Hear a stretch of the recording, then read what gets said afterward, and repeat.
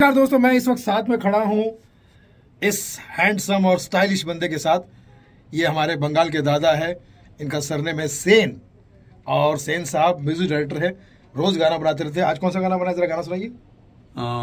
आपको खुद का? हाँ जी। अल्लाह रे अल्लाह माशा अल्लाह अल्लाह रे अल्लाह माशा अल्लाह क्या खूब है तू? सुभान अल्लाह ए हंगामा है ए हंगामा है ए हंगामा है। चेहरा तेरा सुभान अल्लाह क्या हंगामा है?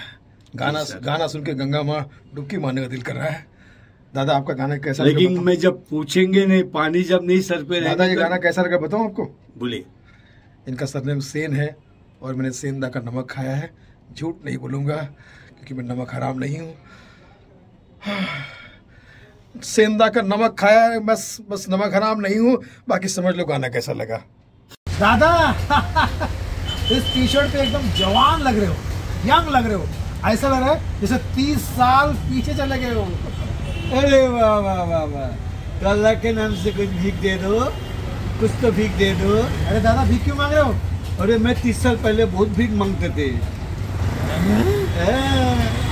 फ़ोन ऑफ़ होना और एंगेज होने में क्या फ़र्क है?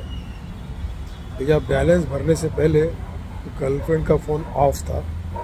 बैलेंस भरने के बाद एंगेज है। यही फ़र्क है। यंग एज और एंगेज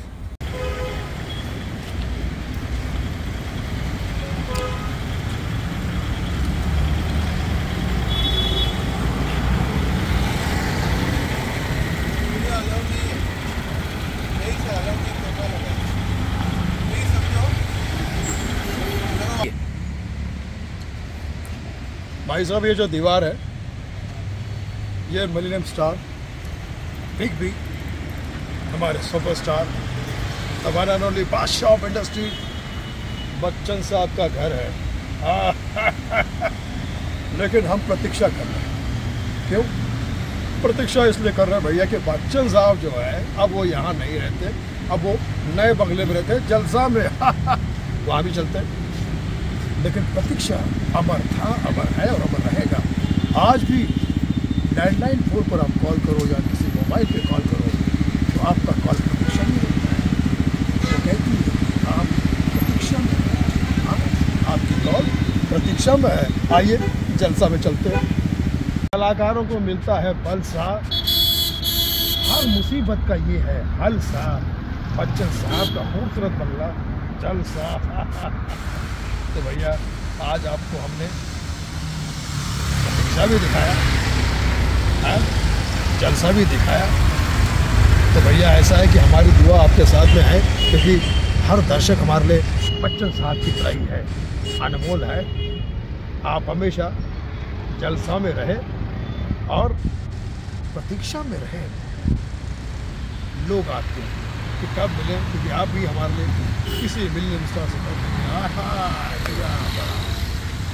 भैया, बच्चन साहब का जो जलसा बंगला है, खूबसूरत बंगला, उसी के ठीक सामने है राजेश खन्ना साहब का आराधना बंगला यानी इससे पता चलता है कि बच्चन साहब और राजेश खन्ना साहब आज भी आमने सामने भैया। हाँ, आराधना। and जलसा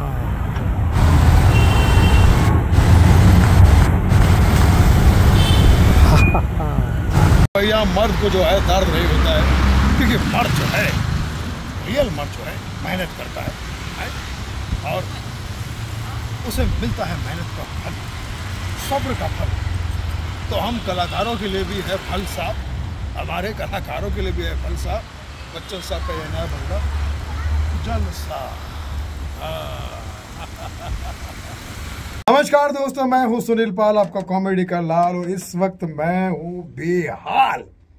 भाई, अरे आम आदमी क्या बिसात जब वीआईपी आ जाता है जब कोई वीआईपी आ जाता है तो बड़ा बुरा हाल होता है आपने कई सारी जोड़ियाँ देखी होगी सात अजूबे इस दुनिया में आठवीं इनकी जोड़ी अरे जोरदार तालियाँ बजा दो ये है बाप बेटी की जोड़ी वीआईपी और धोनी मतलब बाप वीआईपी और बेटी भी VIP Come on, hey, come on. Hi everyone, this is Dhwani. This is VIP. How are you?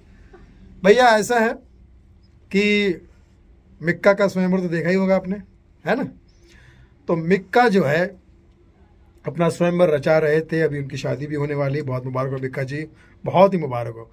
भगवान करे आपका जीवन जो है आप के नाम ही की तरह मिक्का हो, इक्का हो, और हमेशा लेकिन उसमें हमारी टैलेंटेड धोनी भी गई थी। उन्होंने अपने टैलेंट को से लोगों को ज़बरदस्त दीवाना बना दिया था। धोनी से शादी भी होने वाली थी। ये खबर मैं अंदर की बता रहा हूँ आपको। बस मिक्का ने एक शर्त रखी थी वीआईपी से कि, ओ यार, मैं बहुत बहुत बहुत पैसे वाला आदमी हूँ, आपकी बेटी से शादी कर रहा हूँ, बहुत बहुत बहुत पैसे वाला आदमी हूँ। एक शर्त है मेरी हाँ हाँ हाँ सुनको लगेगी आपको हाँ तो सवाल मेरा सुन लो। सवाल उन्होंने बोला या शर्त रखी कि आपको शादी के बाद, धोनी की शादी के बाद आपको भी घर ससुर बनना पड़ेगा। तो इन्होंने बोला कि नहीं भाई, नहीं मैं घर ससुर नहीं बन सकता। ये ऑफ़र मुझे पहले भी हुआ था। कौन सा? घर दामाद बनने का। लेकिन मैं नहीं हुआ था। तो इतना हमारा ज़बरदस्त आर्टिस्ट है। तो इन्होंने मिक्का का ससुर बनने का ऑफ़र अपने शर्तों पे ही आगे पीछे कर दिया। लेकिन अब मैं कह सकता हूँ कि मिक्का को भी शुभकामनाएँ और धोनी तो अपने नए नए कामों में लगी हुई हैं। क्या क्या नए नए तुम्हारे प्रोजेक्ट आ रहे थे धोनी? अभी और नई नई बात चल रही है ऑब्वियसली और मैं आप लोगों को बहुत जल्दी बहुत सारी गुड न्यूज़ देना चाहूँगी। बट इसके पहले बस यही बता दूँ कि मिक्का के स्वयंवर में मेरा बहुत बहुत ही अच्छा एक्सपीरियंस रहा है और वो इतने अच्छे इंसान हैं उन्होंने मुझे तुरंत फ़र्स्ट डे पे आते ही कंफर्टेबल कर दिया so I think this is the best part about him and मैं क्या बोलूँ बाबा? इसने तो झंडे गाड़ दिए झंडे। और बिल्कुल मैंने सोचा नहीं था कि ये इतना इतना टैलेंट इसके अंदर है क्योंकि घर पे मस्ती करती थी। लेकिन वहाँ पर इसने अपनी हॉर्स राइडिंग दिखा दी, वहाँ पे कबड्डी दिखा दी, वहाँ पे मॉडलिंग दिखा दी, वहाँ सिंगिंग दिखा दी मिमिक्री दिखा दी एक्टिंग दिखा दी। बाबा, इतना तो मेरे को भी नहीं है तेरे। तो भैया, ऐसा है कि बेटी तो मतलब बाप तो वीआईपी है, बेटी भी वीआईपी है। बहुत सारी आवाज़ें उसमें वहाँ पर निकाली उस उसकी मैं देख रहा हूँ। लेकिन उस स्वयंवर में धोनी की जगह पे अगर भाभी जी घर पे की जो अम्मा है, वो जाती तो मक्का को इम्प्रेस करने की क्या कोशिश करती? जी। क्या बात है? ठीक है ना? अभी हमको खाना वाना सब बनाने को आता है। आप जो बोले हम बनाएँगे। आलू की भाजी, इसकी भाजी, उसकी भाजी। अपने भी भाजी बना देंगे एक दिन। भाजी से याद है, भाजी से याद है याद है उनकी माजी सास उनकी अरे बहुरिया, देखो जाके, एकदम अच्छे से देख लेना, नाप लेना, पहले कैसा लगता है आपको? फिर आप डिसाइड करना कि शादी वादी करना है कि नहीं करना है। ऐसे हम बताएँ एक बात, मिका तो हमको भी बहुत ज़्यादा पसंद है। वाह, बड़ा मज़ा आ गया भाई। मैं कहता हूँ कि अगर पंकज त्रिपाठी यहाँ होते तो कहते, ये तो बाप बेटी जो है, धमाल करती है, बढ़िया बाप अपने नाम में नंबर वन है। बेटी अपने काम में नंबर टू है।